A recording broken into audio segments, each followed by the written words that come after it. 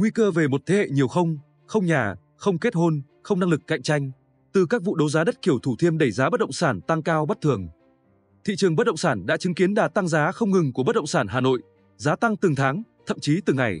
Đỉnh điểm có những khu chung cư đã đi vào sử dụng giá đã tăng 50 đến 100% chỉ trong vòng 2 năm vừa qua. Và từ khi đấu giá đất Hoài Đức, Thanh Oai giá tăng vọt khiến thị trường càng có xu hướng đẩy giá lên.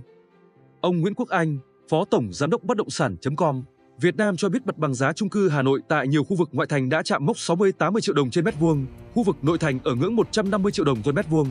Vào thời điểm 5 năm trước, đây cũng là mặt bằng giá của chung cư thành phố. Hồ Chí Minh hiện nay, mặt bằng giá chung cư thành phố Hồ Chí Minh có nơi lên đến 150 triệu đồng trên mét vuông, thậm chí có nơi 200 triệu đồng trên mét vuông. Trước áp lực giá nhà ngày càng tăng mạnh, chia sẻ của một bạn trẻ sinh năm 2005 đã sống một thời gian ở Hà Nội và tiếp xúc với những người đã sống ở Hà Nội lâu năm về việc mua nhà cũng đã gây dậy sóng dư luận. Sẽ có một thế hệ không mua được nhà, làm văn phòng bình thường gần như không thể mua được nhà.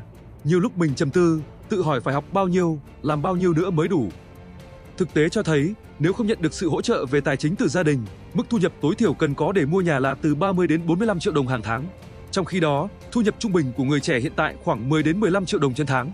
Nếu không có sự hỗ trợ từ gia đình, người trẻ rất khó mua nhà vì thông thường đến năm 30 tuổi mới có thể đạt được mức lương 30 đến 40 triệu tháng. Mặt khác, từ khi ra trường đến năm 30 tuổi, giá đất và nhà có thể tăng nhanh, không chỉ dừng ở 3 tỷ mà còn có thể tăng lên 8 đến 10 tỷ. Muốn không có chữ không nào thì tranh thủ IB cho tiến sĩ Bảo.